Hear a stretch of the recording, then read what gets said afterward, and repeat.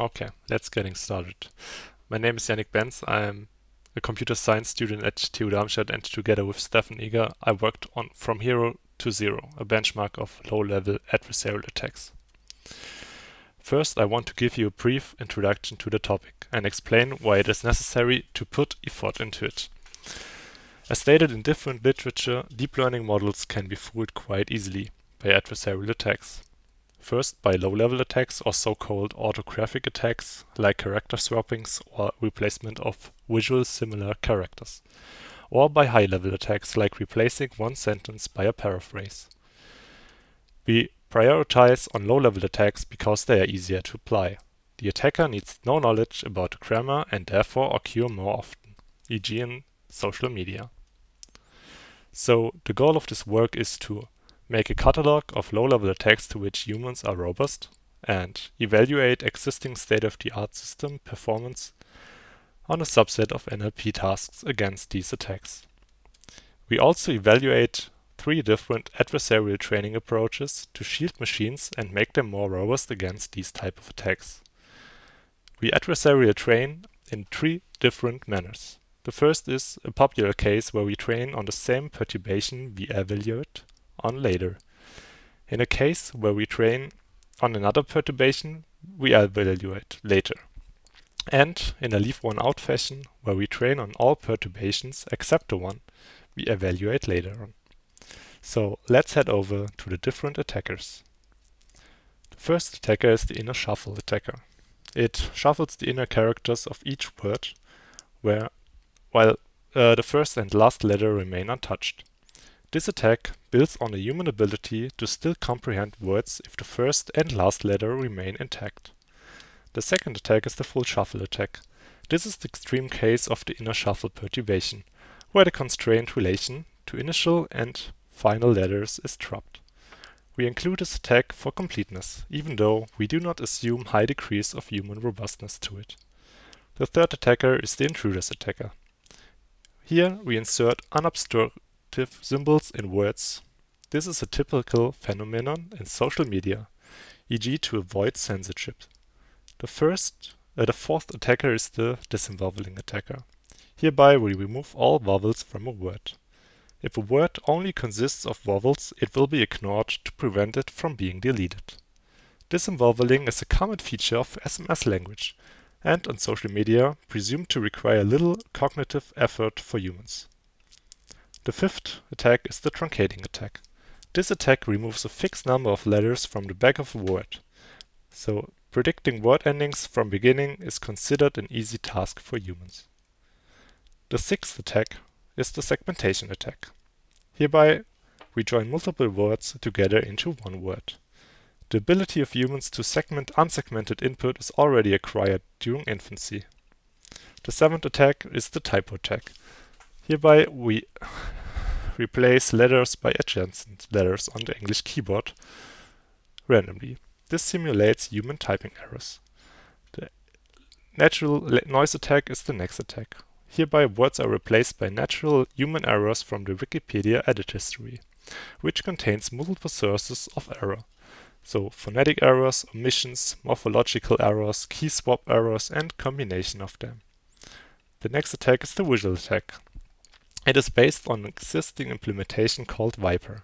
It replaces letters with respect to a given embedding space. The last and final attack is the phonetic. Here we combine two sequence-to-sequence -sequence models, where the first model translates the graphemes into its respective phonemes based on the complex pronunciation dictionary, and the second model afterwards translated back to its graphemes. This way, we can generate new but phonetic similar words and sentences. Let's head over to the defense mechanisms we used.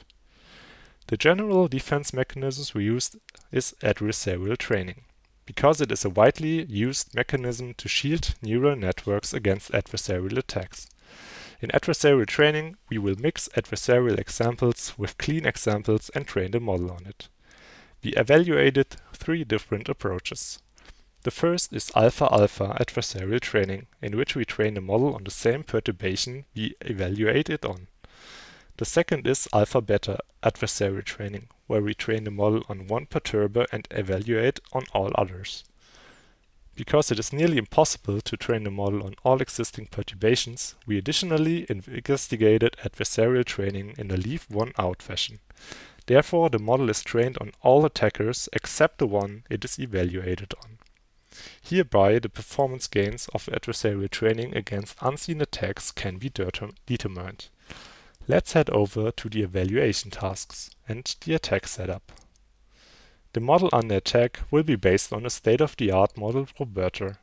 We selected three different evaluation tasks. The first is toxic comment classification. It is a multi-label classification task. The model has to label an input sentence with up to six different labels. This task occurs a lot in online communities where members try to trick hate speech filters or similar mechanisms by attacking these systems via different manual inserted perturbations, and is therefore very close to reality. The next evaluation task is natural language inference.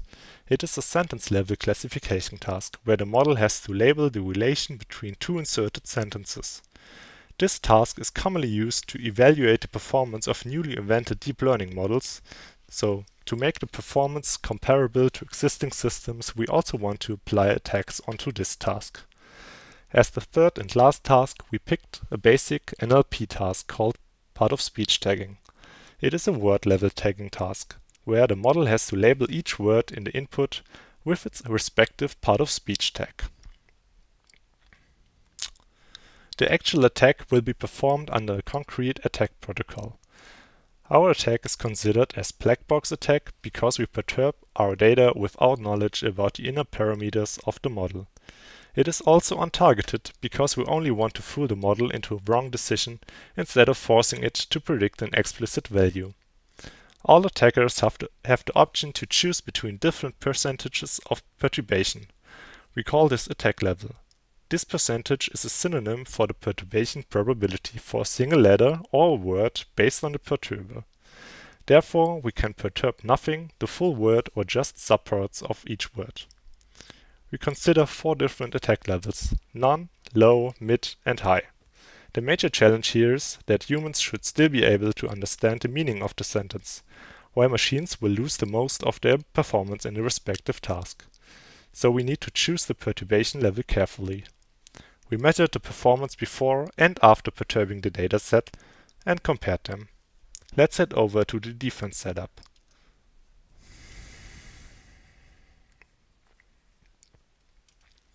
We use the same data that has been used for the attack setup with three different attack levels. We mix them evenly distributed by attack level, so one third of each attack level is used. To build one large defense dataset, we later train the model on. In leave one out, we also mix the different attackers evenly distributed. So one part of each attacker except the one we are attacking with is in the final defense dataset. We measure the performance increase and decrease relative to the unshielded model's performance. Let's head over to the experiments and results for the attacks and defenses. These three plots demonstrate the performance decrease caused by the attacks on the unshielded RoBERTa model for the three evaluation tasks. The left plot shows the evaluation of POS, the middle plot of NLI, and the right plot of toxic comment. The performance decrease is measured in S star, which represents the relative decrease compared to the best performance on clean data. An S star value of 0.9 therefore stands for 90% of the clean performance. The red line represents the worst performance that can be reached in this task. The x-axis indicates the applied attack level on the left, we apply no perturbations, and on the right we apply the highest attack level, and therefore a lot of perturbation. The model suffers significantly from all attacks over all evaluation tasks. The higher the attack level, the higher are the performance decreases. The intrude and the visual attack are the most effective attacks on all tasks. Let's come to our evaluation of the shielding approaches. These plots demonstrate the robustness increase compared to the unshielded model mentioned before for adversarial training in the alpha-alpha fashion. Here we train it evaluate on the same type of perturbation. We measure the robustness increase in delta S star. A value of 0, 0.1 stands for 10% better performance compared to the unshielded model. This measure will be used for all shielding methods in the following. For all tasks, attack levels, and attackers, the robustness increases significantly. For NLI by up to 70% of the original performance. For some attacks, the model recovers nearly its full clean data performance. These tables demonstrate the robustness increase compared to the unshielded model mentioned before for adversarial training in the alpha-beta fashion. Here we train and evaluate on different types of perturbation. The columns show the train data and the rows the test data. The values highlighted in blue indicate an increase in performance compared to the unshielded model, and red indicate a decrease. We can clearly see that truncate, disemvowel, keyboard typo, natural noise, visual, and intruders are similar in the sense that training on them shields against their attacks at test time. This kind forms a group of attacks, removes or replaces characters. The second group is full shuffle and inner shuffle. Its main goal is to destroy the order of words. And one last group is formed by the phonetic attack. It modifies entire words using a more complex operation.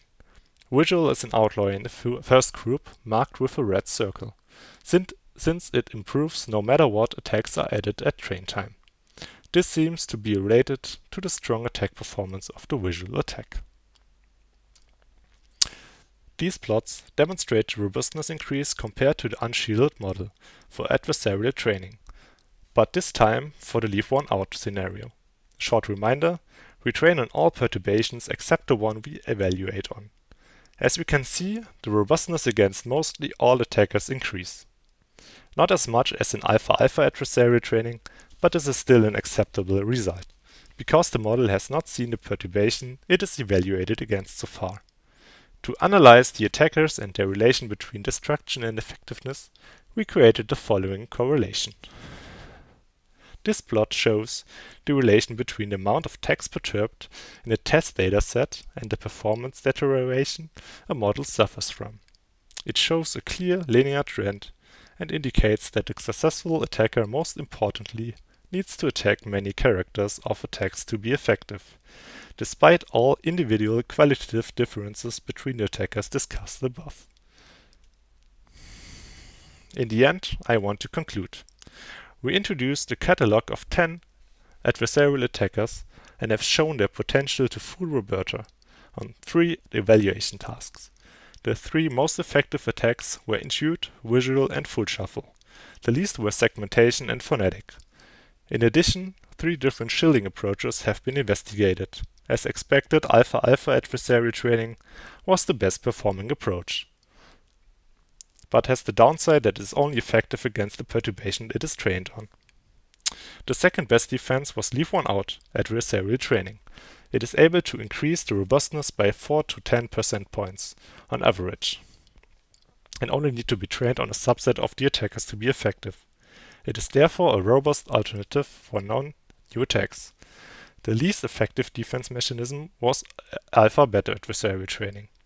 Finally, we found that an attacker needs to be attack many characters of attacks to be effective.